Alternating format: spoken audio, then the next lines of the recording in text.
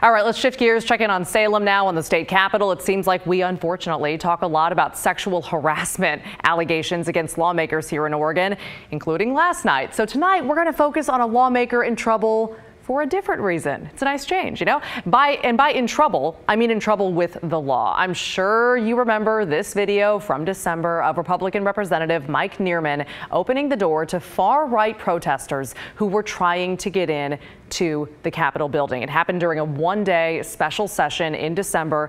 Unlike the insurrection at the U.S. Capitol, which happened a few weeks later, these guys, they didn't get very far. You can see state troopers rushed in and pushed them out. Well, in April, Nearman got hit with two criminal charges, official misconduct in the first degree and criminal trespass in the second degree. And at the same time, the legislature hired an independent investigator to really look into what happened.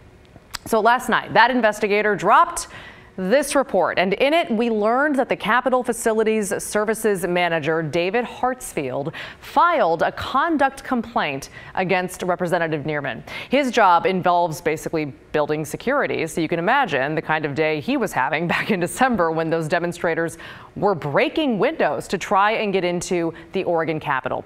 Here's what the investigator determined according to his report. Quote, the evidence supports a conclusion that Representative Nearman more likely than not intentionally assisted demonstrators in breaching security and entering the Capitol, and that his conduct is more likely than not set into motion a chain of events that impeded the ability of Mr. Hartsfield and others to function in the workplace and denied them the benefits of the workplace.